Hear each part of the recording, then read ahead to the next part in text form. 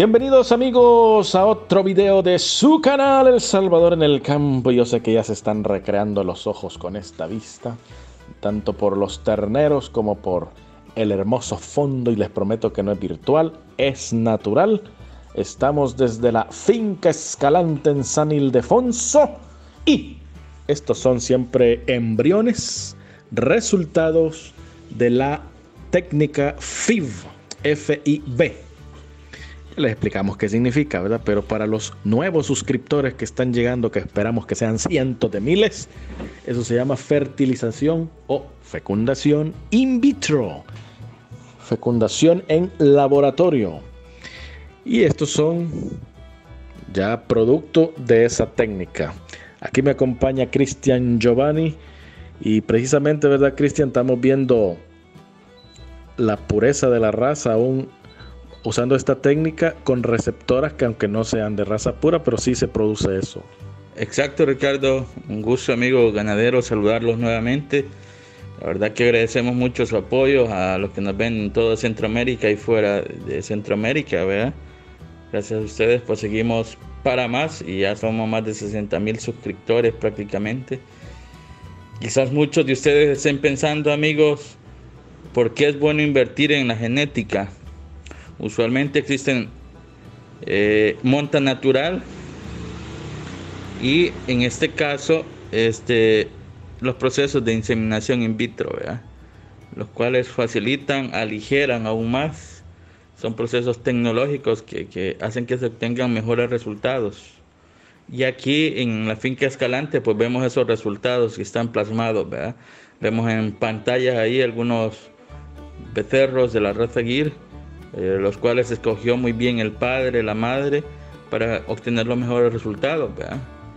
Si bien la raza Aguirre es una raza doble propósito, pero con las mejores tecnológicas, hace que eh, se tengan buenos resultados. En este caso, vacas con un pico de leche que anda entre 40 eh, botellas, 35 botellas. Hablamos de 2, 3 ordeños en alguna ganadería, ¿verdad? que se acostumbra a hacer eso, tres ordeños, Ricardo. con una alimentación idónea, los tienen encerraditos eh, las vacas, ¿verdad? Las tienen estabuladas prácticamente para que los amigos pues sean una idea general, ¿verdad? Y aquí vemos este eh, los resultados también que se ha obtenido eh, en la raza Jersey, ¿verdad? Con inseminación in vitro, ¿verdad? Acabas de mencionar algo bien importante, Cristian. Esta no es exclusiva de una raza, sino que se puede potenciar cualquiera de las razas y siempre va a depender todo del propósito que un, un ganadero tenga. Por eso hay preguntas que vemos en la caja de comentarios que agradecemos, por cierto, que nos las hagan, pero a veces necesitamos que sean más específicos porque este, a veces nos dicen, ¿y cuánto me costaría tal becerro o o mire qué raza me recomienda para tal cosa, pero necesitamos que sean específicos porque teniendo que el propósito uno ya también puede dar mejor orientación en ese sentido. Como está mencionando Cristian, hemos visto resultados en raza Gir y también en raza Jersey, también que es una raza lechera, el Gir doble propósito, pero que también en este trópico que estamos rinde muy bien en raza en lo que es la leche. Y aquí la vemos en esta finca escalante que ha trabajado con la fertilización in vitro con los amigos de Bioembrios, que se llama la, eh, la empresa. Y aquí podemos ver los resultados en la finca que por cierto muy bonito se ve. Ah, exacto. La verdad que cuando pensamos en genética y pensamos en los beneficios, y también Ricardo es bueno recordarle a los amigos que también a veces hay cierto porcentaje de que a veces no salen muy bien, ¿verdad? Por ejemplo, para que ustedes se hagan una idea, quizás de todos los famosos que hemos escuchado, quizás de 20 hijos de este, quizás eh, salgan algunos de descarte, unos 5 o 10.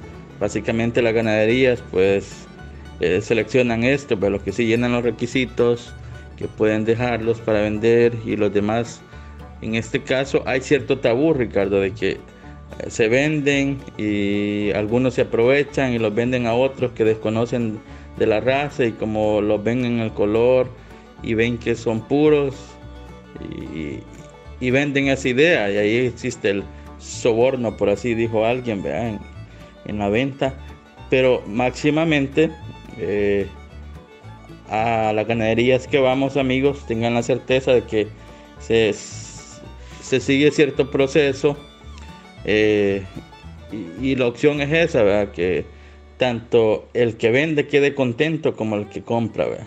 Así que siempre se vende lo mejor. No, no, no se vende lo que no sirve, ¿verdad? porque es un tabú que existe. Y la verdad que con las mejoras tecnológicas que existen en la actualidad, como les hemos transmitido acá en el canal de Salvador en el campo, pues hay buenas hembras, buenos machos. Este, incluso les hemos mostrado acá algunas razas indianas, eh, líneas abiertas, los cuales facilita, Ricardo, que aunque se tenga eh, cierta línea la cual se esté trabajando en la finca, un ejemplo, Sansao, Jaguar, pues las líneas abiertas hacen que eh, no exista ese problema, ¿verdad? Puedas utilizarlo con total libertad, ¿verdad? Muy bien. Y sobre lo que dice Cristian, para que no se vayan a asustar, alguien dice, ¿y habrá una técnica que me garantice el 100%? Ninguna, ni siquiera la monta natural. Ninguna garantiza que el 100%, como dijo Cristian, de 20 hijos, los 20, pero la fertilización in vitro es uno de los que deja el porcentaje más alto, no al 100%, pero llega a niveles como hasta el 80%, que créanme que es bastante. O sea, hablar de 80% es casi, es como un excelente en este tipo de, comparaciones. Así es que eh, estas que se ven aquí, Cristian, siempre son giro o son de otra raza.